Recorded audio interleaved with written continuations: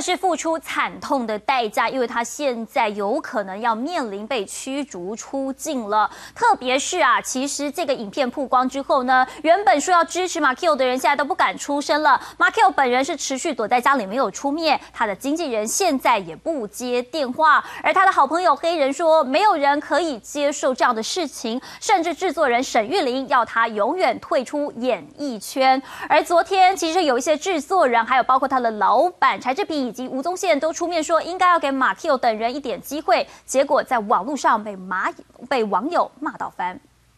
有记龙辉殴伤林姓司机最新影片曝光，马 Q 就这样对着林姓司机踹上好几脚，再度引起轩然大波。事件进入第八天，马 Q 持续躲在家中，不敢出来面对跟道歉。经纪人不接电话，也不愿针对踹人事件回应，只跟记者简讯回答，并没有要开记者会，显然不知如何是好。虽然影片曝光，证明马 Q 从头到尾都在说谎，就连跟马 Q 情同兄妹的黑人也忍不住说了重话。那种感受是。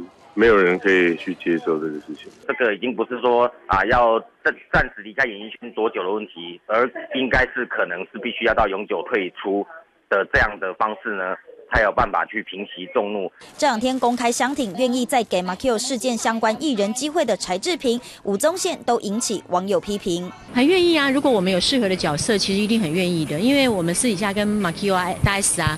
平常大家也很熟，那我觉得她真的是个很可爱的女孩子。八号受访力挺马 Q 还说愿意给机会让她拍戏的偶像剧教母柴智屏，这段言论被网友骂翻，还讽刺了说是不是要拍那一夜我们一起打的司机，还扬言要抵制柴智屏。我从头到尾都没有说我现在要让马 Q 去演戏，前面的二十分的错都已经是错了，现在又要打人，这这是已经比方八十分的错。我们怎么还会认为这是对的呢？对我们来讲，他现在是一个罪人，他不是一个艺人。陈志平力挺马 Q 被骂翻，另一个也被扯入的还有综艺天王吴宗宪，挺自家艺人鸭子，却因为说事发地点不是荒郊野外，并非恶意弃人不顾，被批失言。网友戏称吴宗宪提油桶救火成了反效果。那个鸭子是是。配角里面的配角吧。马 Q 事件越演越烈，犯错不承认，还用谎言粉饰。最新公布的影片，他就这样狠踹司机。随着证据越来越明朗，马 Q 根本全程参与恶行，连日试图用谎话来粉饰的说辞相当离谱。一电视综合报道。